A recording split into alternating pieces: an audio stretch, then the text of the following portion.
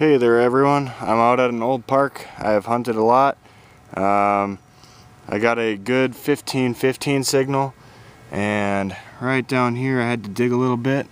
Um, as you can see, I've got a nice buffalo nickel. If you can see there, it's got a really clear date, 1928. So uh, hopefully that's a good sign of things to come today. Uh, I've been out for about 15 minutes so far, so hopefully I'll have more for you.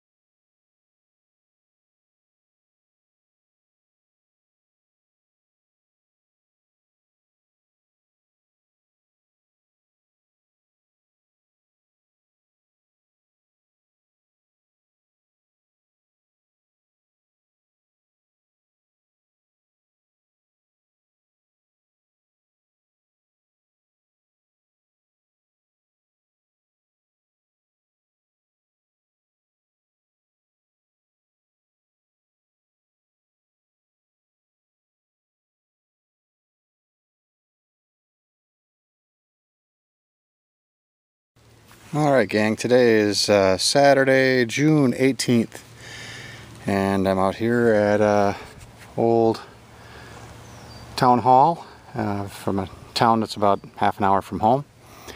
Been doing a little uh, detecting around this uh, swing set thing, or not the swing set, but the merry-go-round and old swing set here.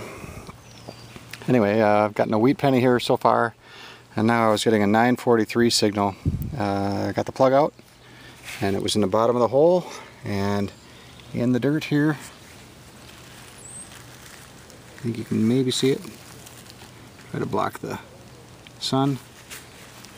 And it looks like it's going to be a silver dime. And try to block that. Gonna be a Rosie I think.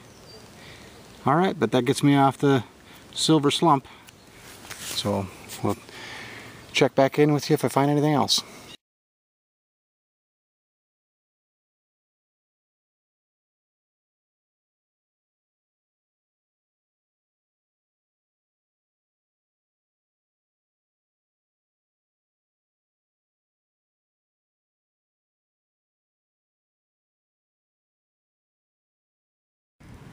And look where I found it. Right by that tree with the bench.